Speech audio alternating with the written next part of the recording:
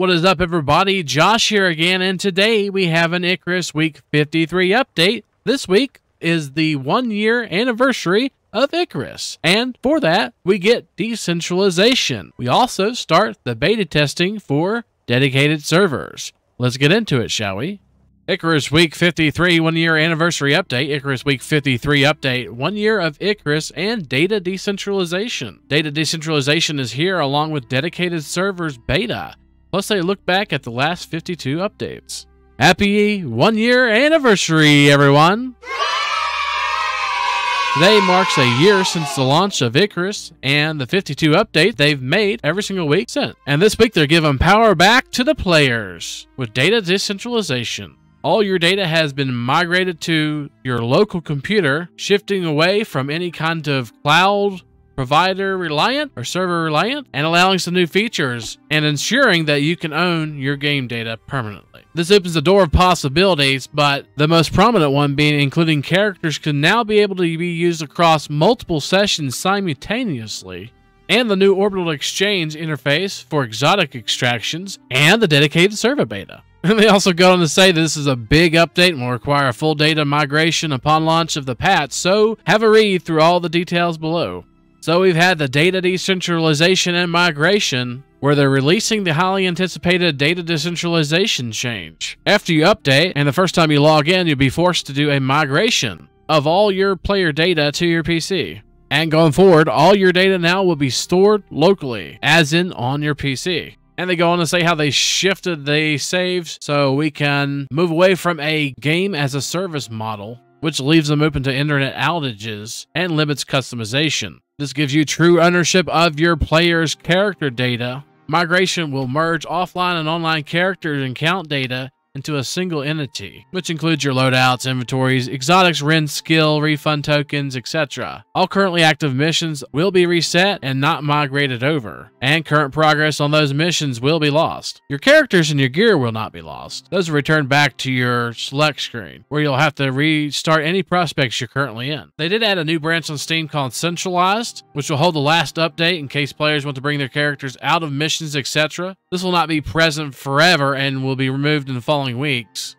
The way you find that is if you right click Icarus and go to properties, then betas, and select centralized 1227 pre-data decentralization, update to that, and that means that you should be able to restore your characters and then go ahead and decentralize by selecting none. Your open world and outpost sessions are migrated over but will reset and remove your characters from the missions in progress. Your characters and loadouts will be in the character select screen and loadout screen, and you could just go ahead and rejoin the game via the dropship by dropping down. Steam Cloud has been enabled for Icarus, so if you have multiple computers on which you play Icarus, make sure you migrate on your preferred machine first, the one with the most up-to-date outpost and open world content, and then Steam should then sync to your other machine. Jake Dodunsky, I think I pronounced that right, project lead, says we very much see this patch as providing players ownership over their own data and enabling everyone to play without having access to our servers. To enable this, we have had to make some concessions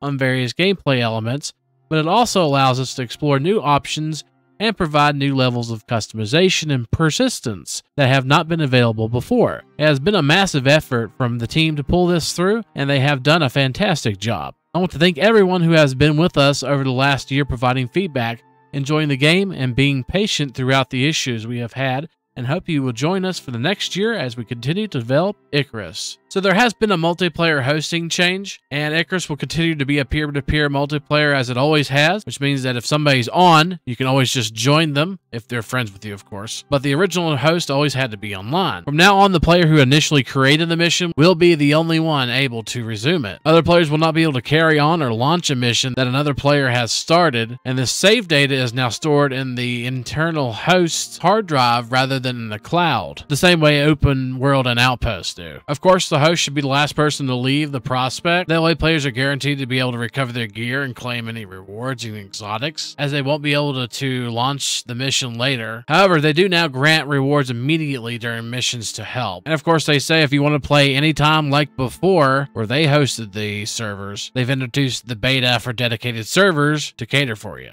They go on to say you can manually share saves with other players as well. And the way you find it is usually your C users, whatever your computer's profile name is, app data, local Icarus save, player data, and then your Steam ID and prospects. Or you could just copy this right here, local app data percentage, Icarus save player data, Steam ID, and prospect. All you gotta do is kind of right click that, copy it, go to any folder, go up top here to the bar, right click and paste it in there, hit enter, or just go to your app data folder, guys. Click on your computer, go to users, go to your name, mine's skate, go to app data. If you can't see app data, click on view up top here and click on hidden item. So you can't see app data now. But if you enable hidden items, you can see app data. Go to local and go to Icarus. And here's your saved files. This is where all your save files are, guys. If you want to do a backup, this is where you're going to go. You're going to go to your Icarus and save. As you see, you got your screenshots, prospects, your player data,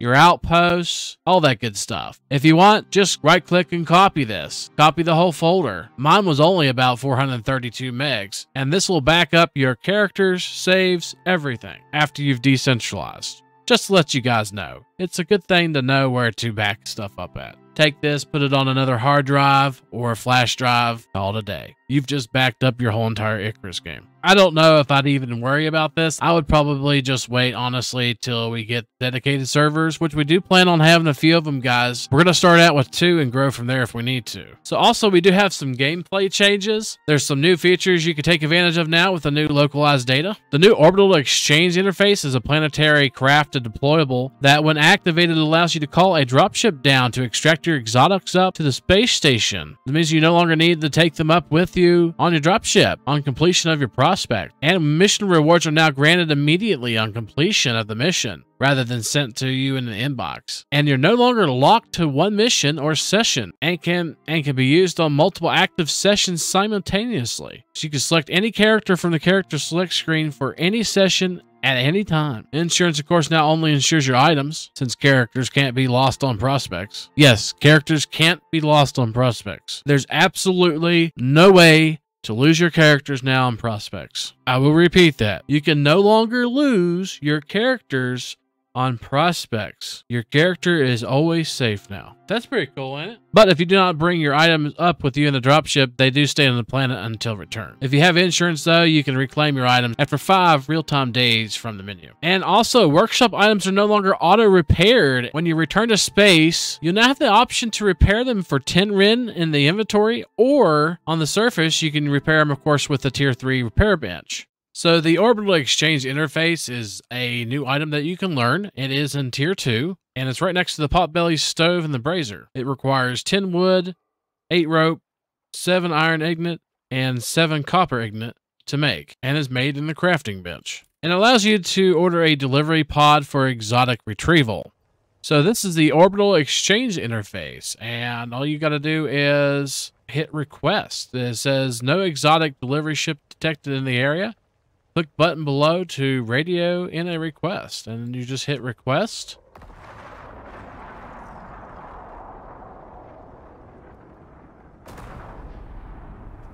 And a pretty far distance away, it looks like it dropped down a exotic delivery pod. It's a hastily built drop pod for delivering prospectors exotics to the station for processing. And it has 30 slots available for you to put exotics and then deliver to the station. So then you just hit deliver to station.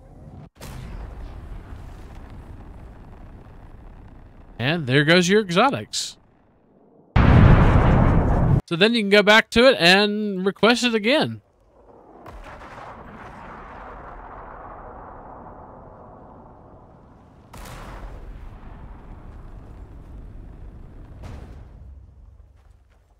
And this time it put it right in front.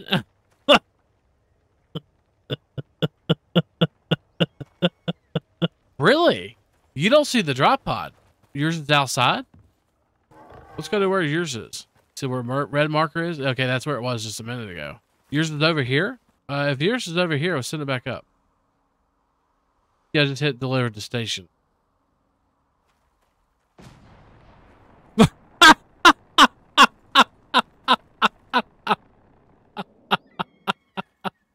Happy one year anniversary, everyone. Another thing I'll mention is that you see there is no longer a remove from prospect button. As we stated earlier, you can't lose your character anymore. So, so there is a new screen for you guys to use. If you're currently down on something, you can hit the resume button. Currently, I'm not.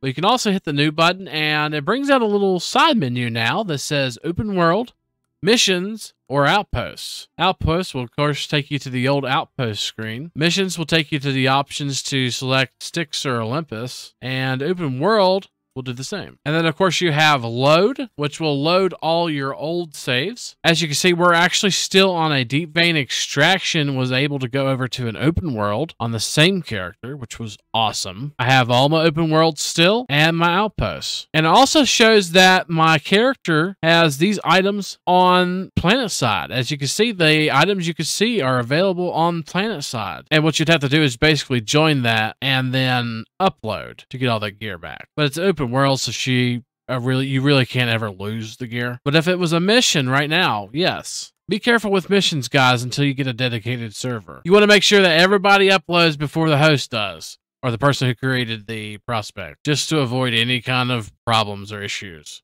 Also, it says my character is level 282 and his name. That seems kind of high, but it's probably low. I don't get to play as much as I used to because of work. But that's okay. I'm sure that's a bug. So that's the load menu. Of course, all you got to do is click on it and then hit resume prospect or delete prospect. So that's how you delete or resume those prospects. Then you also got join. So this is the peer-to-peer, as it says here, peer-to-peer servers. And this will show all the people who are playing Icarus currently, and you can join their game. So you also got some simple filters here, friends, locked and out of date that you can check. You do a check mark or an X. And then over here you have a, another option, which is dedicated servers beta. If you have the dedicated servers beta version, which you download in your betas page on Steam, and as you can see, there is a ton of servers, guys, that people have made on the dedicated servers beta. Just tons of servers, guys.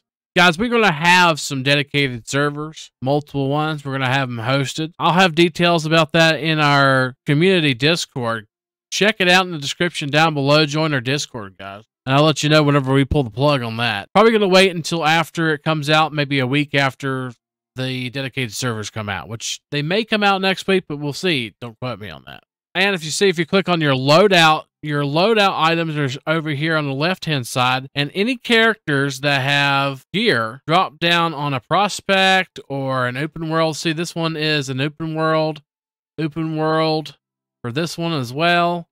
All this gear was dropped down with. Of course, this is persistent too. That means if I damage this Interest Nev's pickaxe, it'll be damaged until we repair it. So that's pretty cool. It's going to show you where all your gear is and what the name of the prospect is and what kind of prospect it is. So this is a deep vein extraction mission. This guy's on D's outpost, which I just dropped down on not long ago, and the same character. These are all three the same character. This character is on my open world, and this is the gear he has there. So we're going to load our whole new world outpost. As you can see when we click on it, there's all the gear we have. We're going to hit resume prospect. So we're going to go ahead and, and upload and return to our dropship. And we have a new screen that says returning to orbit will remove you from this world and delete all non-workshop items you're currently carrying. You can return, but we'll start with a fresh inventory and dropship. Are you sure you want to leave? And our Interest Nev's pickaxe is still broken. So there's one of two options to actually repair this. You can either repair it with a repair bench on the planet side, or you can right click it and use 10 Ren to repair the item. This goes for this little knife. I've only used it just a few times, but it is damaged and you can repair it as well. It's only 10 Ren to actually repair your workshop gear now. And as you can see on the right hand side, we still got two more loadouts still. And also, when Icarus starts up, we have a new splash screen. And you're not crazy. This guy actually is moving right here. He moves ever so slowly. He's sneaky. Also, just let you know on the front screen here, you could do the migration again. Whenever you first start it up, it's going to say, hey, migrate, and then you'll migrate and it'll go back to this screen right here. And then, of course, you can re-migrate again if you need to. So we also have the dedicated servers beta. Decentralization opens the door for dedicated servers, which are launching in beta today. Dedicated servers will let you host your own Icarus server to play with friends, and you can control access, timing, hardware, and in future customize your settings. It's a whole new way to play Icarus multiplayer, but it's not compulsory. You can still continue to play Icarus multiplayer without a dedicated server as described above. They do have a GitHub server setup guide, and they have a link here that you could click on. For setting up and running a dedicated server, you can go here. And there's some server admin commands. You can click on that to see those. It goes through and tells you how to set up a dedicated server with Steam CMD. They are going to be partnering with a range of dedicated server providers to offer rental servers, so stay posted for news and information on who those are. And just remember the application is still beta. They have some teething issues they may have to work out. And guys, we have went through 52 weeks of updates, and it's been a pleasure to make an update video for you guys for all of those except for I think seven, maybe seven. We started doing the update videos. And they made a very nice picture here that shows the one year anniversary and the new features that include open world mode, rideable mounts, dynamic missions, in game timer, and world bosses, and how much content and everything they've added into the game, how many talents they have, etc. They go through to tell you all the changes that they have made over the last year, including change to a bigger and bolder Icarus logo. Looking back, the work they've done it has been quite the journey, and Icarus, when it launched, is a different game than it is now. They've tripled the available missions, added an entire second map, two game modes, new dynamic features, new deployables, craftables, fixed thousands of bugs, and their players have invested over 34 million hours in game time, a number that still blows them away to this day. Andy Hall, the CEO states that releasing Icarus has been the studio's coming of age and as mentioned before the beta weekends last year prior to our release were a mixed blessing. On one hand, it demonstrated a significant ground of players eager for our content, but it also outlined problems with both the concept as well as the game itself. Most of all, the beta weekends crystallized what the game needed to be very effectively, helping end any uncertainty about what the game needed to be on the development front. You can think of beta weekends as lighting a fuse on an explosive. It can only last a finite time before it needed to end. They basically go on to say how they fixed the game and changed the route in which the game was going, and that each weekend they would be fortunate to see a number of content creators who stick with the project. Most of them, they would say, have at times and continue to be quite critical of the project, and that has played a very important role in the game getting to where it is today. They've asked tough questions and pointed out our mistakes or missteps. This has helped the team and studio to grow. wonder who they're talking about.